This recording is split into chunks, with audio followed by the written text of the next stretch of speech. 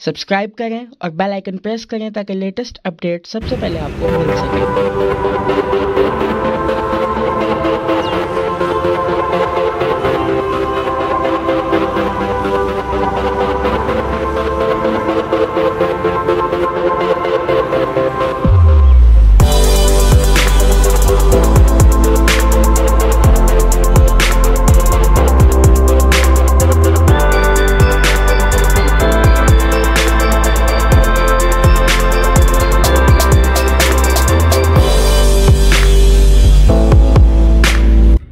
वालेकुम फ्रेंड्स तो कैसे हैं आप सब? उम्मीद करता हूँ सब खैरियत से होंगे ठीक ठाक होंगे, मज़े में होंगे, खुशबाश होंगे।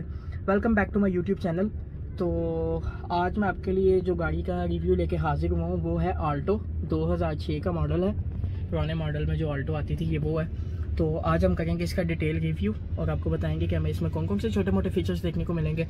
लेकिन उससे पहले आपको बता दूँ, ये गाड़ी फॉर सेल है, ठीक है? ये भी गाड़ी आपको सेम सेम लोकेशन से मिल जाएगी। जी मेगनोलिया के बिल्कुल ऑपोजिट साइड पे अल हक मोटर्स है, उधर से आपको ये गाड़ी मिल जाएगी। तो आप आके गाड़ी विज़िट कर सकते हैं। तो लेकिन उस सबसे पहले काइंडली आप सबसे रिक्वेस्ट कर रहा हूँ कि मेरे चैनल को सब्सक्राइब करें लाइक करें बेल आइकन प्रेस करें, ताकि मेरी हर आने वाली वीडियो बसानी आप तक पहुँच सके। मुझे इस टाइम आप लोगों की सपोर्ट की सबसे ज़्यादा ज़रूरत है, और सबसे बढ़ के ये कि थैंक यू सो मच कि मेरे वन वन मंथ में आप लोगों ने 500 सब्सक्राइबर्स कंप्लीट करवाए हैं। तो इसके लिए बहुत बहुत शुक्रिया आपका। इन इसी तरह मोहब्बत देते रहें भाई को, ताकि मैं आपके लिए और डिटेल इंफॉर्मेटिव वीडियोस लेके आता रहूँ। तो आए इसके रिव्यू को स्टार्ट करते हैं।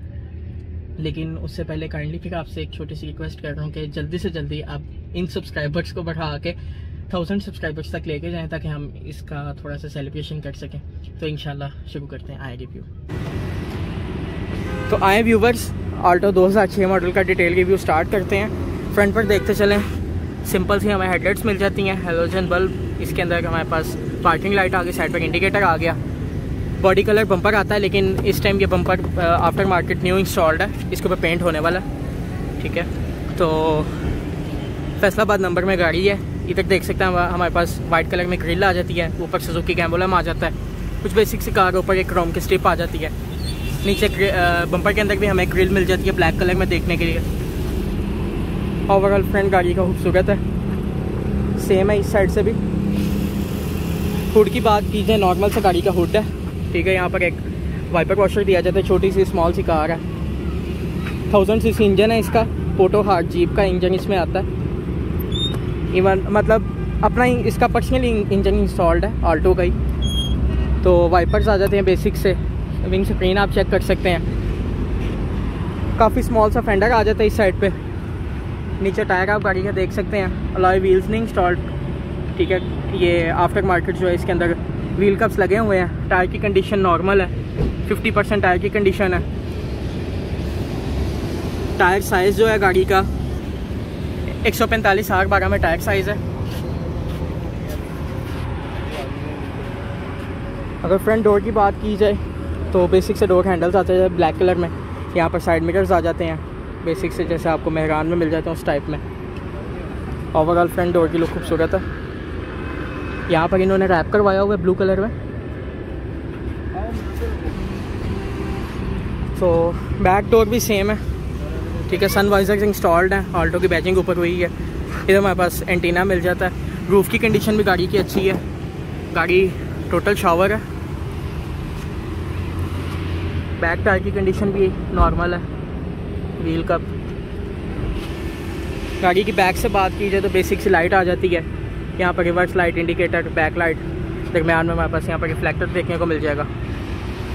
बैक यहाँ से इसकी ओपन होती है, ठीक है की के साथ।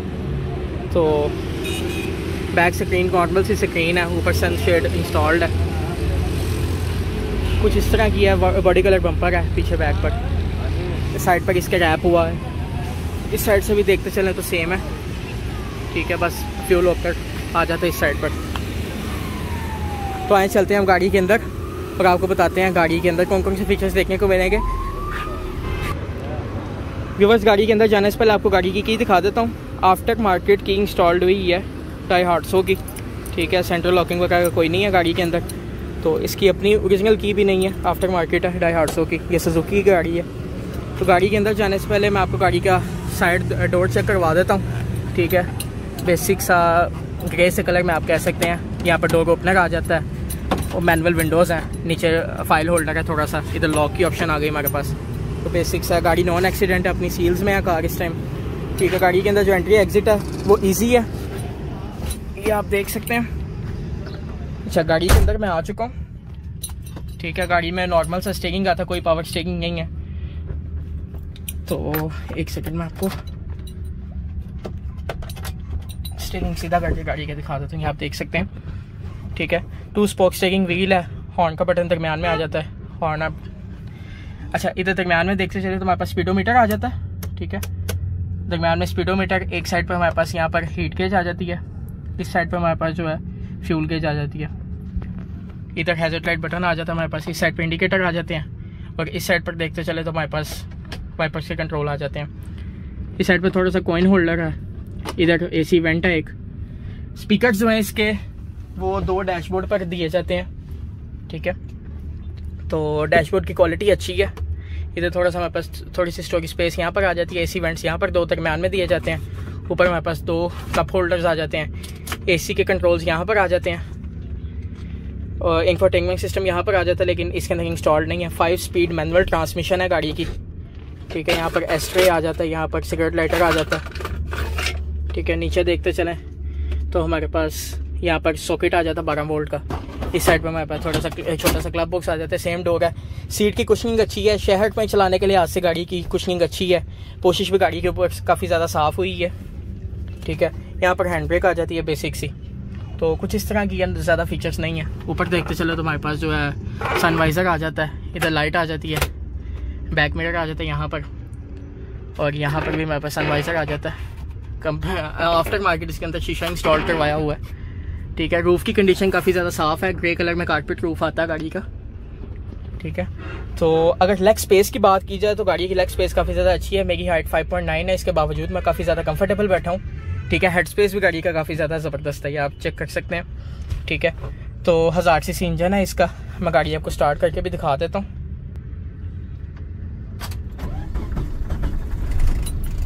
ये गाड़ी की आप आवाज़ सुन सकते हैं। गाड़ी मैंने स्टार्ट कर ली है इस टाइम एसी में इसको ऑन कर लेता हूँ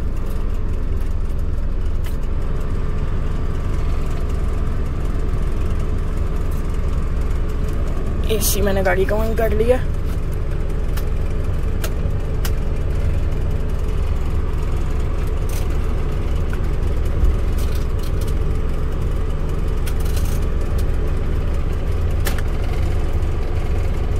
इसकी थोड़ी सी एसी की कूलिंग तो अच्छी है, यहाँ से ऊपर से इसकी हवा आ रही है, इसकी ना यहाँ से थोड़ी सी सेटिंग ख़राब हुई है तो ये मेरे से थोड़ा सा हो नहीं रहा। तो नॉर्मल मतलब ठीक है एसी इतना कोई बेसिक बेसिक सा एसी है, कोई इतनी अच्छी कूलिंग नहीं है, जैसे आप मेहरान का कह सकते हैं, वो चीज़ है।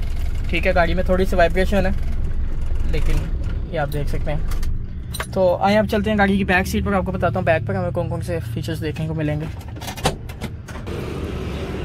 तो व्यूवर्स गाड़ी की बैक सीट पर मैं आ चुका हूँ। यहाँ पर भी एंट्री एंट्री एग्जिट ईजी है। ठीक है। ये मैं बैठ चुका हूँ। अच्छा अगली सीट जो है बिल्कुल पीछे है तो पीछे मैं कंफर्टेबल नहीं बैठ सक रहा। अगर थोड़ा सा कंप्रोमाइज़ करके आप बैठ सकते हैं तो मैं आपने बम्प वगैरह भी आता है। मतलब चार बंदों के लिए जो है ये गाड़ी है, ठीक है। और लॉन्ग रूट के लिहाज से इतनी बेहतर नहीं है, लेकिन शहर में चलाने के लिहाज से बेहतर है। वही बेसिक से हमारे पास आ जाते हैं कंट्रोल जो मैनुअल विंडोज़ वगैरह सीट की कुछ नहीं नॉर्मल है, शहर के लिहाज से, ठीक है। तो बैक से इंटीरियर कुछ इस तरह का नज़र आता है। अगर मैं आपको यहाँ से बैग दिखा दूँ इसकी टिक्की तो सिलेंडर इसके अंदर आता है, लेकिन इस टाइम उतर चुका है टाइम के साथ साथ वो थोड़ी सी स्टोरेज पे साइड पर आ जाती है।